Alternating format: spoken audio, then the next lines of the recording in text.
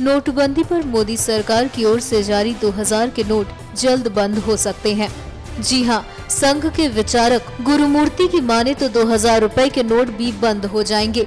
8 नवंबर को मोदी सरकार ने 500 और हज़ार रुपए के नोट को चलन से बैन कर दिया था जिसके बाद 2000 के नोट चलन में लाए गए हैं। गुरु मूर्ति ने कहा है कि कुछ साल में 2000 के नोट चलन से बाहर हो जाएँगे। 2000 के नोट सरकार ने इसलिए छापे हैं ताकि नोटबंदी के बाद अर्थव्यवस्था में नोटों के गैप को जल्द से जल्द भरा जा सके। सरकार छोटे नोटों पर ज़्यादा भरोसा करती है और इसलिए बड़े नोटों को अगले पाँच साल में चलन से बाहर कर दिया जाएगा। निकट भविष्य में 500 का नोट ही सबसे बड़ा नोट होगा। इसके बाद ढाई सौ और सौ रूपए के नोट होंगे।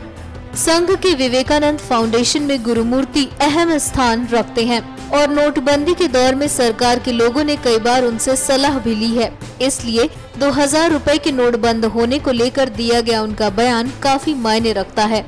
और अगर ऐसा होता है तो जिन्होंने इस बार काले धन को लेकर 2000 के नोटों की जमाखोरी की है, उनके भी दिन लदने वाले हैं।